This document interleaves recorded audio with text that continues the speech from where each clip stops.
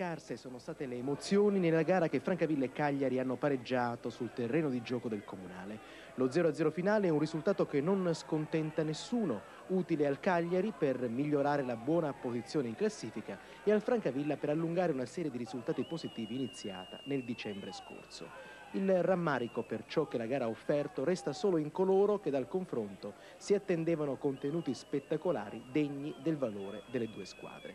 Scarna la cronaca con pochissime azioni degne di essere raccontate, tutte create dal Cagliari. La prima al 32 del primo tempo, nata da una bella manovra sviluppatasi sulla fascia destra e conclusa con un magnifico tiro dal centravanti Piovani, ribattuto con grande bravura dal portiere francavillese Ioannoni.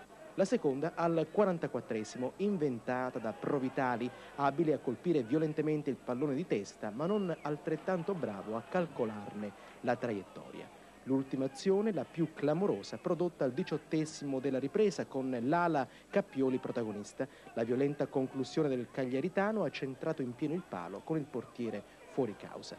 La vera grande palla gol dell'incontro, l'unico brivido di una gara che nonostante sia risultata molto corretta è stata caratterizzata da un'espulsione abbastanza inconsueta se si tiene in considerazione che a guadagnare anzitempo gli spogliatoi per un errore dell'arbitro, il signor Brignoccoli di Ancona, è stato il dottor Murgia, simpatico e cordiale medico sociale del Cagliari.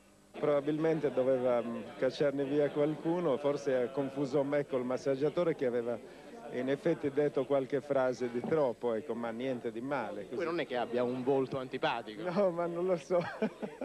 Evidentemente ha pescato un po' nella panchina, meglio me che l'allenatore.